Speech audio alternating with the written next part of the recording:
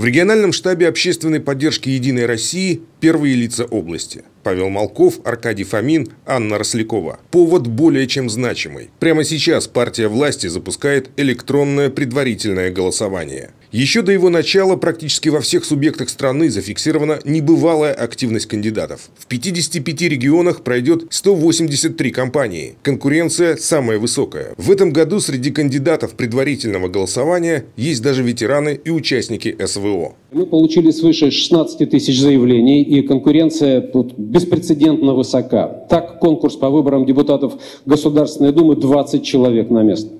Конкурс по выборам в административных центрах мы выбираем мэра Хабаровска 12 человек на место.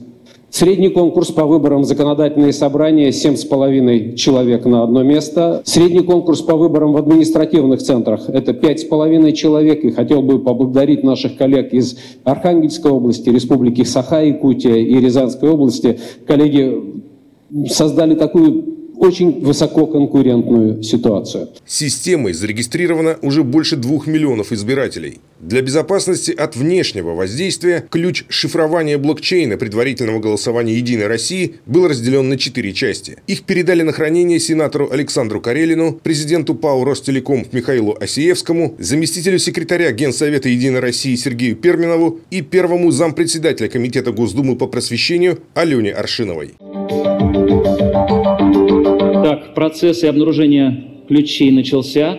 Обнаружены все пять ключей. Этой осенью рязанцам предстоит выбирать депутатов городской думы. Электронное голосование позволит определить кандидатов от партии «Единая Россия». Документы подали 210 человек. Среди тех, кто претендует на право выдвигаться в Рязанскую городскую думу, действующие депутаты, активисты общественных организаций, студенты, молодогвардейцы, волонтеры, участники спецоперации. Я напомню, что все жители города могут принять участие в предварительном голосовании в выборе своего кандидата от «Единой России», который пойдет потом уже на выборы официально в партии. И очень важно принять участие и определиться уже сейчас для того, чтобы быть уверенным в будущем нашего города.